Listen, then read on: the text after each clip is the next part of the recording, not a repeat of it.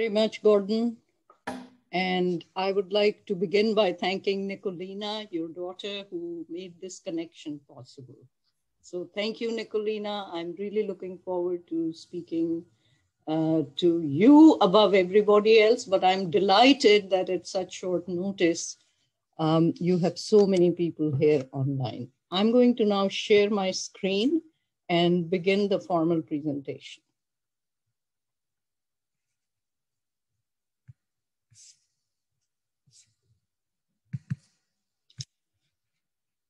I hope everyone can see this. If not, please let me know. So basically, I have a radical new message with which I am here today, which is prevention is better than cure. Obviously, I'm saying this with tongue in cheek because this is the oldest message our grandmothers have been telling us. An ounce of prevention is better than a pound of cure. But we really haven't paid attention to this message in cancer because all the time we keep trying to chase after the last cell. And my message is no, we need to find the first cell. Cancer arises when a somatic cell develops a self-defined fitness function that allows it to evolve. This requires the cell to be independent of normal tissue control and in effect become the first cell. So far, we think there are hereditary predispositions to cancer. Sometimes pathogens cause cancer, toxic exposure, but all of these account for less than 30% of all cancers. What about the others? Why do we get cancer in the majority of cases? We don't know. The prevailing hypothesis is that it's due to random DNA copying errors. How do these appear? Well, when the DNA opens up to be replicated by the polymerase, it can make mistakes, and those mistakes are the mutations. So from birth to adult life, we keep having cells dividing and making these random mutations, uh, copying errors that accumulate in our cells so that by the time we are old, we have tons of mutations in every cell that has divided. Obviously, if the mutation is in a vital gene, the cell will be excised out of the tissue. So my first contention is that the 1970s model that we are still following to this day about cancer is based on random somatic mutation theory. I don't think so here's the model that there's a somatic mutation, then it's accompanied by six hallmarks of cancer, which have now been increased to, I don't know, 12 or 18. These were proposed by Hanahan and Weinberg. And the idea of, uh, you know, resisting death, dividing rapidly, lacking growth control, new blood vessels and metastasis. And the idea of treatment has been just to reverse and retrace the steps back with a very reductionist view to finding that original mutation and then targeting it with a magic bullet. This was the 1970s model, which we are following to this day, right? Well, my contention is that it hasn't been very successful. I'll give you my story. like Gordon suggested, I have three credentials really. First is that I'm an oncologist who sees 30 to 40 cancer patients every week. I've been doing that for 35 plus years. Second is that I do direct a basic research lab for the past 35 years. And third is that I am a cancer widow. My husband was the head of the cancer center at the university in Chicago, and he got the very disease he had dedicated his life to cure, leukemia. So I have had the experience of standing on both sides of the bed as a caregiver and a caretaker. And believe me, I don't wish this experience on even my worst enemies. Harvey was also my mentor. Under his guidance, I began to study acute myeloid leukemia. But very soon I diverged from him because I realized that in my lifetime, this disease won't be cured. It is so malevolent, so vicious. And so I started paying attention to the histories my patients were giving. And many of them told me, Dr. Raza, my blood counts were low for many months or years sometimes before I developed leukemia. So I said, wow, that's a pre leukemia stage. That's when I should be studying patients because they'll be having simpler disease. And that's the myelodysplastic syndrome or pre-leukemia. So I started studying patients when they were diagnosed with MDS and following them, hoping to intercept before they developed leukemia. And that's why in 1984, I started saving tissues on my patients. Today, I have more than 60,000 samples on thousands of patients who have been followed longitudinally as they traverse the natural history of their diseases from pre-leukemia to leukemia. And do you know that not a single cell in this tissue repository comes from another physician? Why do I say this? Not to show off, but to tell you that every vial, every cell in this tissue repository has a personal, poignant meaning for me because I've taken care of those patients myself. I have seen anguish, the suffering. And I do the bone marrows to this day myself. I work like an intern in my clinic. I draw their research blood, I draw their bone marrow. I know what they're going through. The idea has been, can we use the latest technology to trace back all the way to the beginning of their disease and ask the question, why did some people even get pre-leukemia? What predisposed them? What were the earliest changes, etc. Now, we have already performed whole genome sequencing on the entire tissue repository in collaboration with Regeneron, and we are moving on to do the proteomics and transcriptomics with them. And Grail, I think I told Gordon already, the company Grail that is looking at early detection through their methylation platform is now studying the entire tissue repository for uh, their markers. So moving on with my uh, uh, presentation about uh, view of cancer, I truly feel there's a crisis in oncology today. I say this because I arrived in America in 1977, fresh out of med school. And that time I was treating acute myeloid leukemia with two drugs we popularly called seven and three. Why? Because it's seven days of one, three days of another. In 2021, I'm still treating with seven and three. It is a complete embarrassment. It is a shame. And the problem is that if I have acute myeloid leukemia today, I would still take the same terrible, draconian, and mostly ineffective treatment. Look at the story of Laina Anbar. Her parents came from uh, the subcontinent like I came from Pakistan. They settled in LA. She was born and raised in Los Angeles. She got a coveted job at the Los Angeles Times, the newspaper, at 28 years of age. At 29, she gets diagnosed with AML. What do we offer her? Seven and three. The only hope she had was to get an allo transplant, but her brother wasn't a match. So we had to give her a haplotransplant from him. She relapsed within six months. A second haplotransplant was given. She died at 30 at the City of Hope Hospital in Los Angeles. The most painful death possible. It's just now a year since she died. We failed Laina. How badly we failed this poor child. I can't tell you the number of evenings entire last year I walked back and forth on my terrace, speaking to her tormented parents. How are we? How are we doing this to young people, to everybody? Since 1977 to 2021, I have nothing better to offer. So, death by leukemia is a local, not an express. Same run, a few more stops. That's medicine, the art of prolonging disease. This applies perfectly to Lina, except it was said in 1961.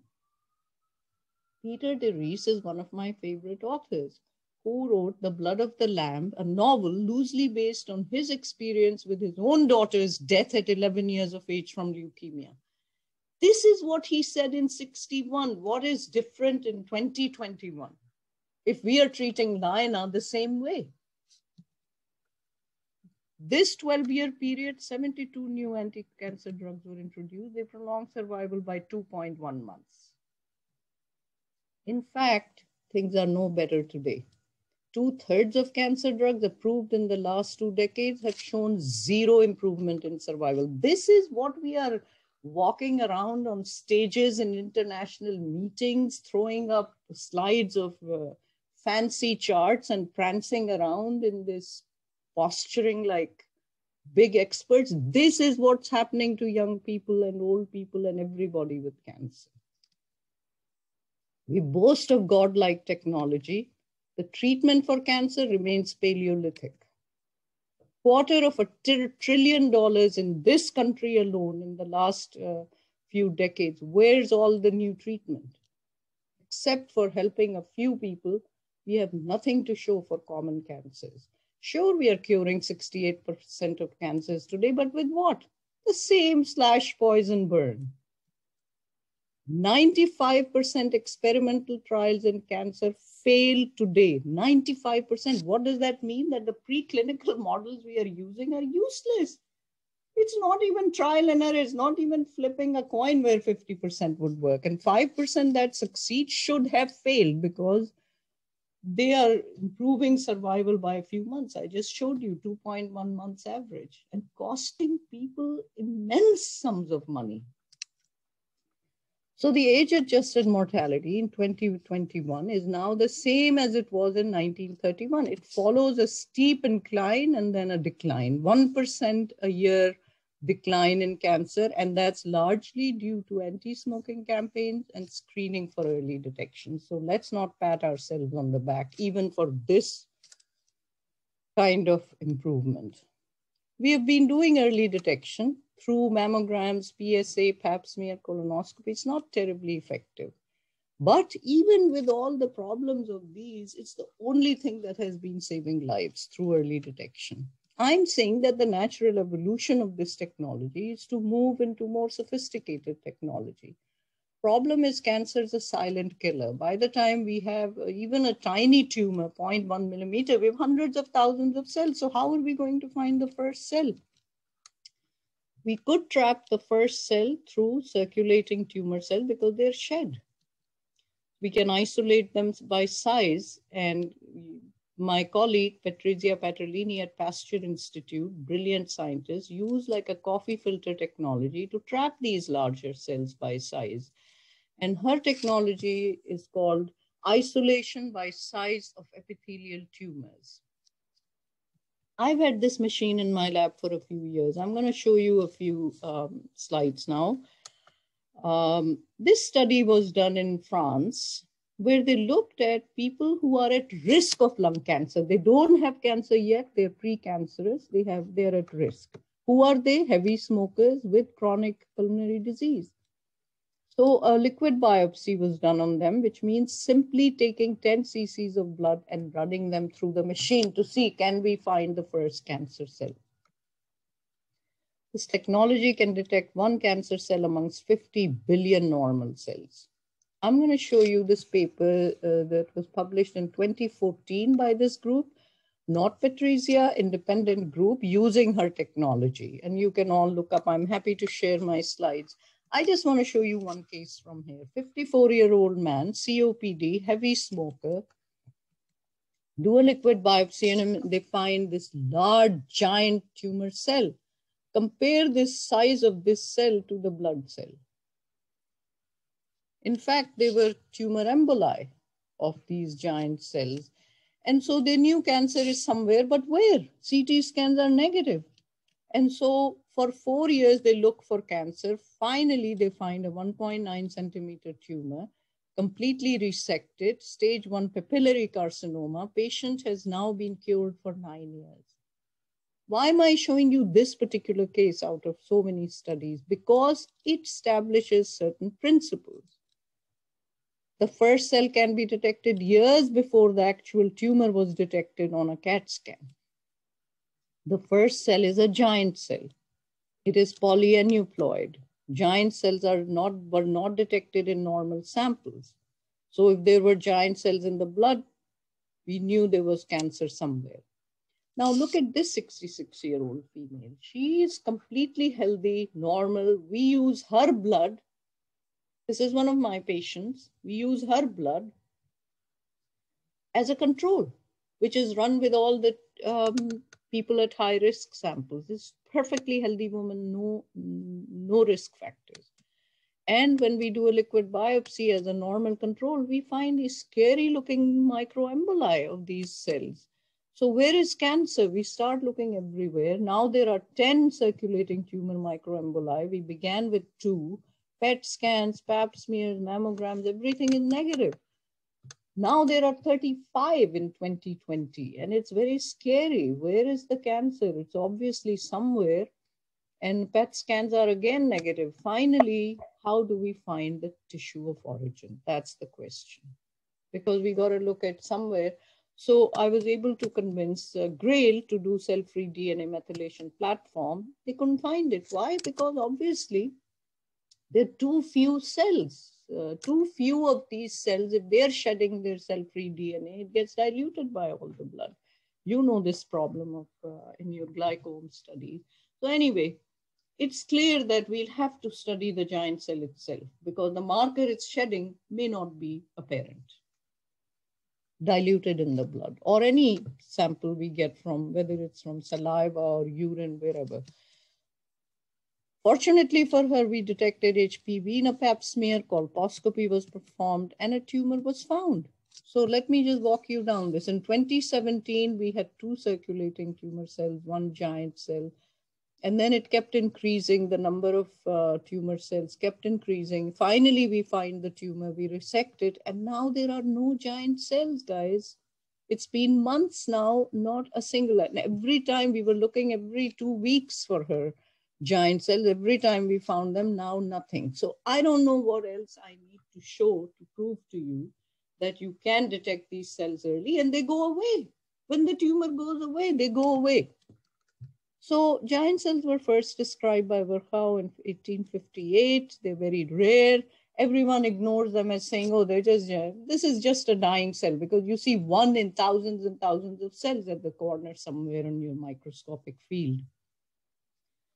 Things began to change when people started to notice that these giant cells are the first cells to appear after we treat with chemotherapy, kill off all the tumor cells. When the relapse occurs, then at that time, in resistant disease relapse, they appear after treatment. So I'm going to show you this uh, couple of videos now. This is from Ken Pienta, who is brilliant professor and director of the urologic oncology program at Hopkins University. They developed this device where at one end you can inject, for example, he injected a prostate cancer cell line and these cells will travel by microfluidics and then enter and one cell at a time will seed and start growing in these diamond shaped wells. From the other end now, after the cells have grown, you can inject the drug you want to test against the cells.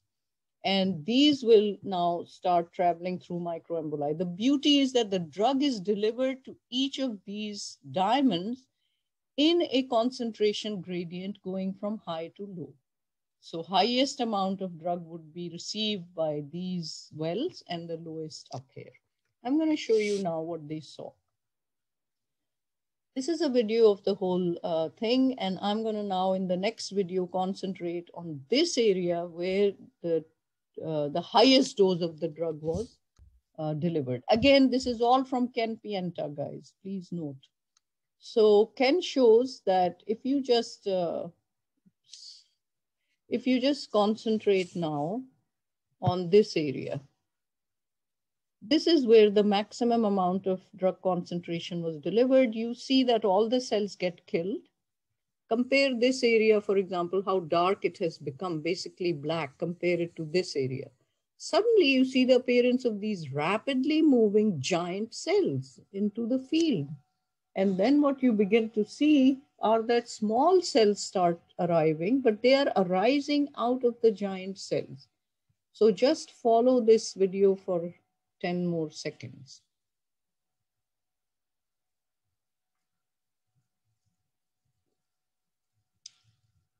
small cells coming out of giant cells, filling the whole field. And very soon, the entire field is now filled up with small cells, and slowly the giant cells disappear. And you end up with just small cells like before. So basically, what is how are these giant cells formed? Normally, when cell divides, it doubles its DNA. Um, and then the nucleus divides, and then the cell divides into two. This is normal what happens if there's a cell that gets stressed by something? What kind of stress? It could be infection, it could be radiation, it could be autoimmune, it could be a cytokine storm, poisonous cytokines, um, anything can stress cells. The cell receives a signal that, look, either you're going to fight or flight. Cell can do a third thing also, it can freeze in place. And start following something called endo-reduplication. What happens in this process is that the cell keeps doubling its DNA and even the nucleus divides. So the cell keeps getting bigger and bigger, now has multiple nuclei, become a giant cell, which is polyaneuploidal, but it doesn't divide. This is one way giant cells are formed, endo-reduplication. Another way, and Ken uh, Pienta caught this beautifully on a video also is um, here are two, uh, here are uh, prostate cancer cells that are being exposed to chemotherapy. Just follow these two cells for 10 seconds and see what they do. As they are exposed to chemotherapy and stressed,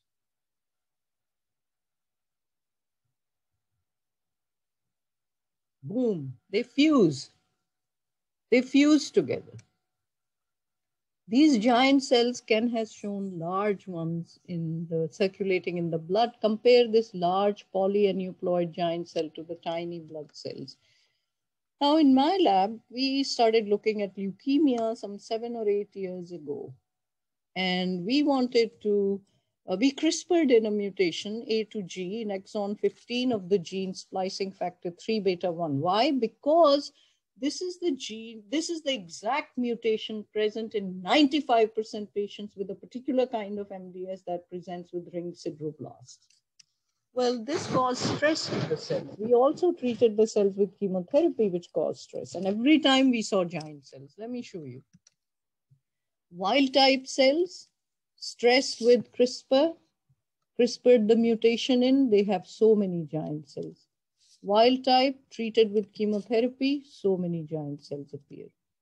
And in fact, sorry, when you look at them, these are the wild type cells and compare them to the mutated cell, which is huge and has multiple nuclei.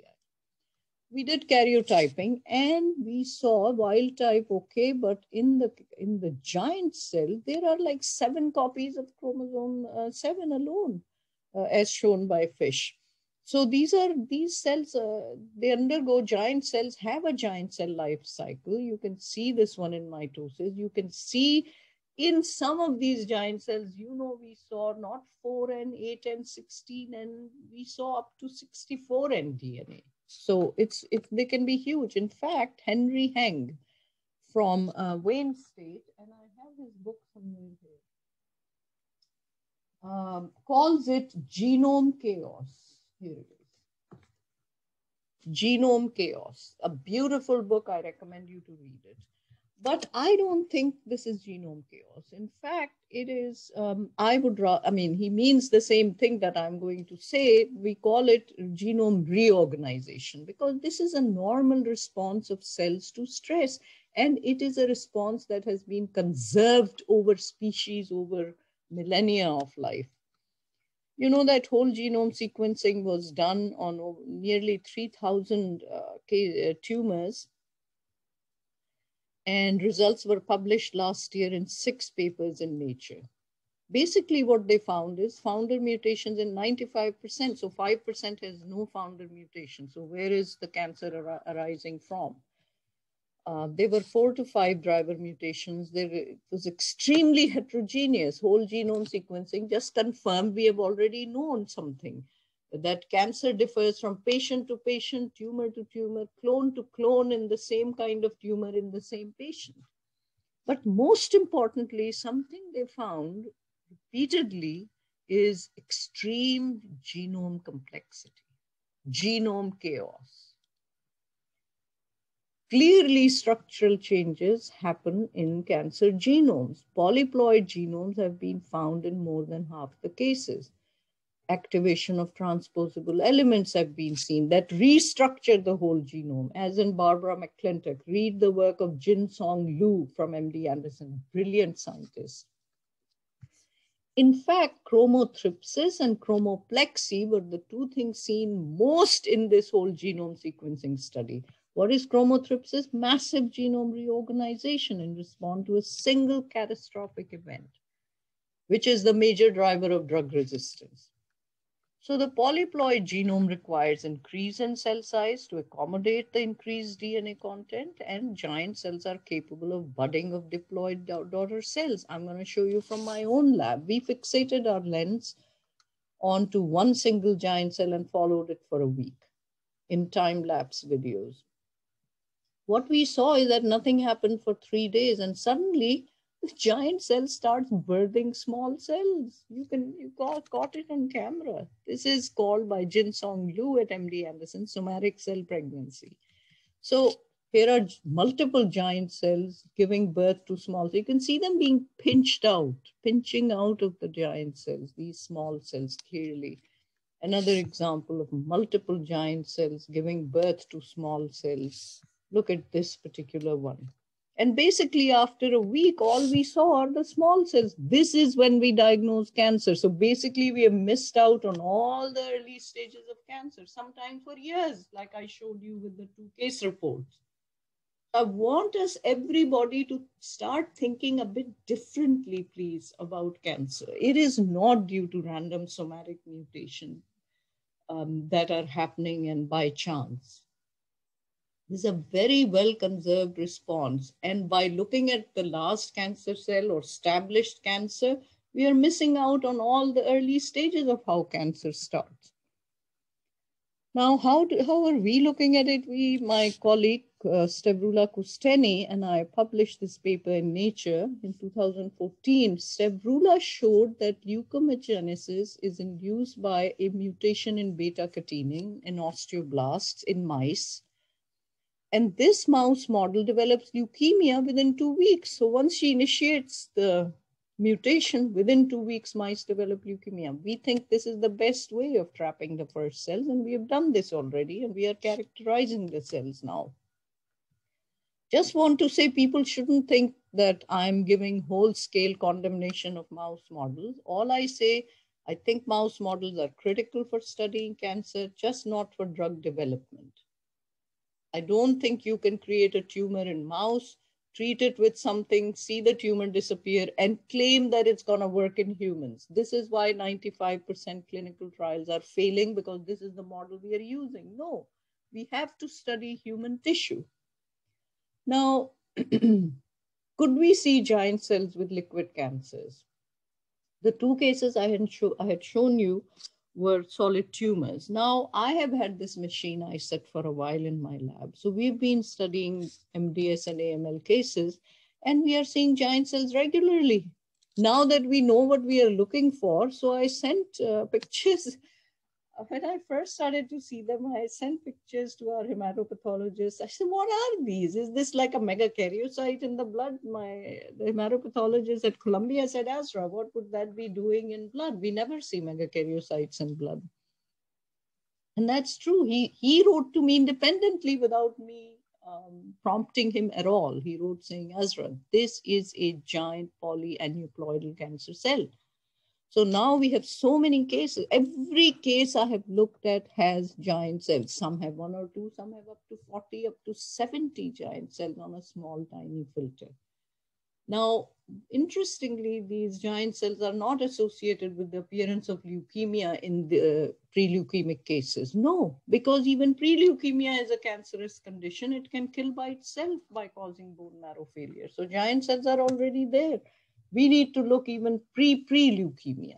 That's my conclusion, that MDS is not early enough. So just to show you that I published this paper on a tetraploidy in acute leukemia in 1985, along with my husband, who was head of the department then. Point I'm making is that no one can uh, accuse me of being inconsistent. I've been saying the same thing early detection, tetraploidy, giant cell, please. Problem is, no one listens to me. Well, now, thankfully, I'm not the only one saying this. Paper published seminars in cancer biology in January, cell cycle stress and normal human cells, the route to first cells. Kristen Whalen, beautiful. What am I saying? Cancer is not due to random DNA copying errors. It's the result of a cellular normal response to stress gone awry. Giant cells, in fact, so these, look up all the references. Happy to send Gordon the slides. Giant cells are evolutionary conserved mechanism to sense stress and to induce genome restructuring. Stress is an evolutionary conserved mutagen. There are multiple examples of whole genome duplication at speciation. Genomes are highly plastic and can restructure themselves in response to stress. So here's my proposition to you. And this, I have developed this cancer model with Bob Gatenby from Tampa, one of the best known names in evolutionary cancer biology, Ken Pienta, I've been showing you his work. Um, we propose that any form of tissue injury or stress may result in the formation of giant cells.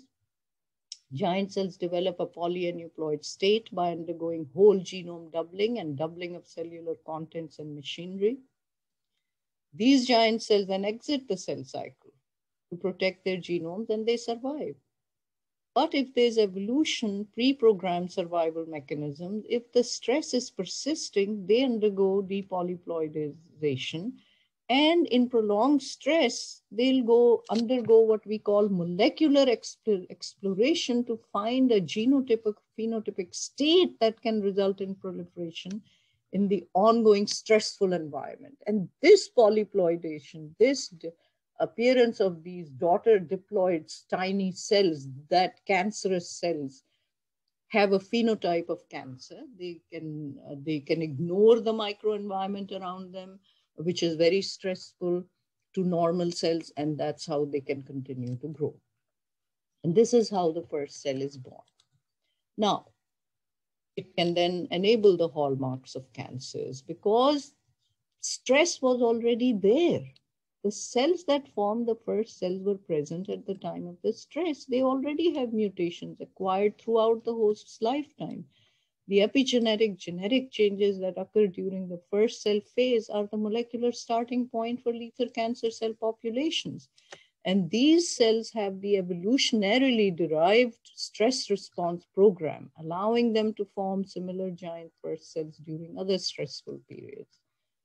So the dynamics are consistent with and potentially observable in the initiation, promotion, progression studies performed in the 60s. Everything we have found after the appearance of those small cells, yes, that still applies.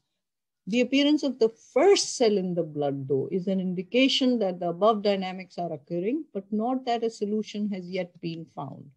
Thus, the presence of the giant cell in the blood is a warning of things to come but may precede actual formation of lethal cancer by significant periods.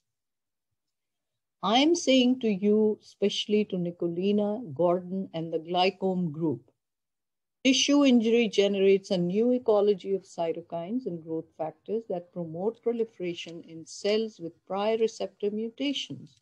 Here is where studies of metabolome and glycome become critical who are people at risk? Why am I saying this? Because we need to look for all of the glycome studies, the first cell studies in not people who have established cancer already, but in people who are at high risk of it.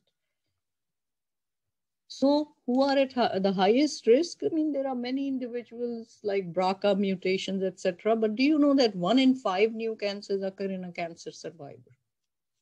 Do the math.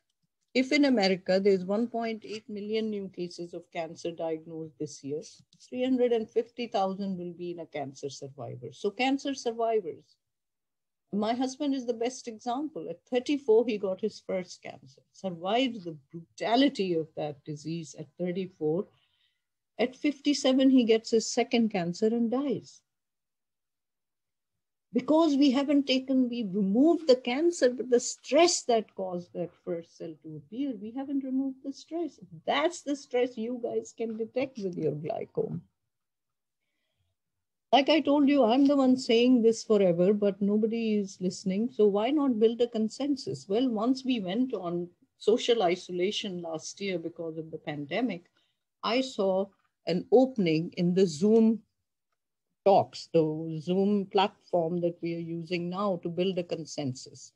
So I created the oncology think tank with 30 leaders from academia and industry. We had 17 two hour long meetings and published an opinion paper.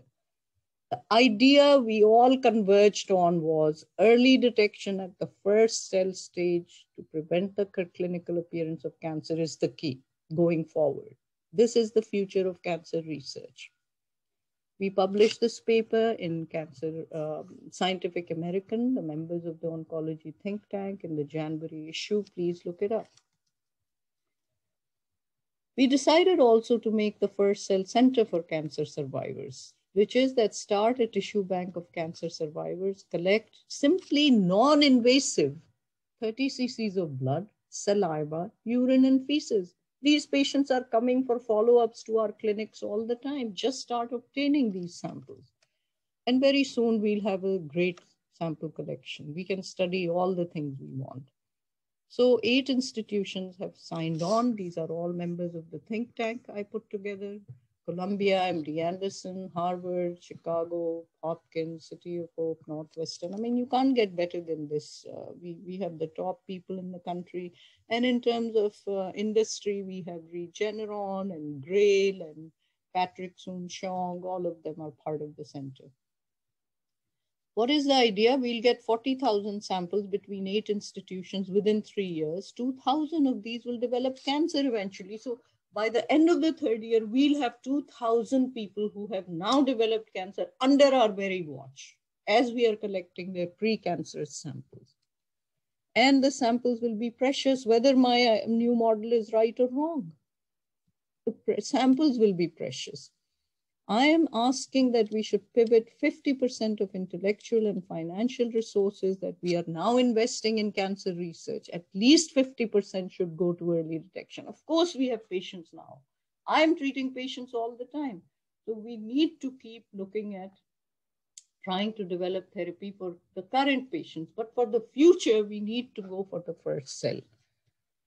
And if we financially incentivize the first cell goal, everybody and their grandmother is going to turn around. You know that. So we should be making human samples available to everybody. Why are we putting, there's no dearth of human cancers because we are diagnosing them all the time, but we put them in pathology labs and we don't want to give them to our research colleagues who then have to make mouse models to study because they have no access to human tissue. Why? People tell me, oh, it's the privacy problem. What are you talking about? My tissue repository is the best reason to have confidence that we can protect patients' privacy. I've been studying human samples for 35 years. No one supports me. I raise the money myself, a million dollars a year just to maintain the tissue repository. Not once has anything ever been, um, the privacy has been broken for God's sake, this is a country that has thousands of nuclear weapons. We know how to procure security systems that work. Why can't we do it for patient samples and give them to researchers who actually know what they're doing? They are the real scientists. They need the samples. What if we find the cancer cell? Now what? Well, Einstein said that if I had one hour to solve a problem, I'd spend 55 minutes on defining the problem and five minutes on finding the solution. Solution will be very easy. I'm working with Sam Sia, who is the biomedical engineer par excellence at Columbia University. He's uh, just got a DARPA grant, Department of Defense, for $16 million. Um, Sam has already developed this chip called the M chip, which is FDA approved. And we are now working on trying to develop an implantable chip. Anyway, Sam uh, has a patch device that acts as an ultrasound imager it, can inject these motes that sense deep biomarkers. And he has an AI framework that communicates wirelessly with the patch device to drive actuation decisions for payload delivery through hydrogel beads, right directly to the cells. This is what it looks like. Literally, it's like a small band-aid. This band-aid can detect all the deep tissues. Anyway, idea is that, that we have cancer and it can manifest its markers at the DNA level, at the RNA level, proteins, metabolites, glycome, and different compartments, plasma, serum, saliva, stool. So how do we find a method in this madness? Well, we are at a stage where we shouldn't be subjecting humans to once a year mammograms or once a year PSA. For God's sake, we need to treat the human body as a machine and constantly monitor it for a thousand different things. Don't be scared of all of this. Rather, use it all. So, if we study all of these things properly, and not be afraid to do the, the technology, to use the technology for early detection, that is when we'll be able to align the resources to find the kind of targets that will allow us to give definitive treatment before it becomes cancerous and lead to the prevention of cancers. This is the whole idea of the first cell. Now, in the last moments, I want to end by uh, end this talk by coming back to the patients. Let me end with the case of Andrew.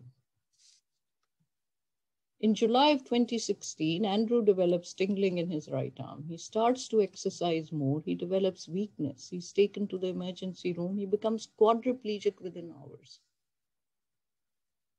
Neurosurgeons could remove only 90% of the 9 centimeter glioblastoma. From this moment on, all his treating oncologists knew that because we couldn't remove the tumor, his chances are hopeless. Yet, what followed? Extensive surgeries, intensive rounds of chemo, radiation, immune manipulation, more chemo, more radiation, more immune therapies. He suffers unbearable toxicities and the tumors continue to grow.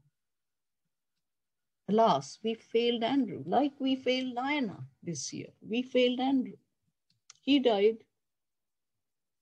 He was 23 years old. To me, more importantly, he was the best friend of my daughter, Sheherzad. Andrew was not her boyfriend. Our beloved Andrew was gay. No, he was her best friend. They childhood together you are, many of you are parents. How do you deal with your only 22 year old son? Was it cruel to keep telling Andrew and his mother, proposing these ineffective agents that are not going to do anything? But what were the alternatives? Should we tell him, enjoy whatever time you have? But then death will come from cancer, and that is so painful the tumors, when it's, they started to grow in his head, were caused such severe headaches. The torment this boy went through. Was honesty even a choice? How dare we tell Andrew's mother that we can extend his survival by three months? How dare we? What is three months to a 22 year old? And with what tortures? Basically, his choices were you die of cancer or you die of the treatment we give you. Why are these the only choices? You know what is the worst thing that happened? Elena, Andrew's mother, called me last month. Her best friend is now, now diagnosed with the same stage 4 glioblastoma that her son died of. You know what she said to me, Gordon? You know what she said. She said, Azra, it's been four years. Surely you must have made progress by now. Four years since our beloved Andrew died. Can you help my best friend? This is what I'm asking everybody to think about. It's all very well to talk about the great uh, biologic insights we have made into cancer. Please know we are failing utterly to bring those improvements to the bedside. I have nothing better to offer Elena's best friend than I had to offer it. You know how many times my daughter called me in the middle of the night when Andrew was sick, Mommy, you and dad are supposed to help cancer patients. You're not helping Andrew. What a failure I am. Why are these the only two choices? And I ask you the question how many Andrews have to die before we become aware? I'll end by showing you this little film. For two minutes, please watch this video that was made by Andrew's younger sister, uh, older sister, Kat. She was 25. Andrew died 23, three years ago. She's now 26, uh, sorry, 28. Watch this video for literally two minutes. New York is in New York without you, love. So far in a few blocks to be so low.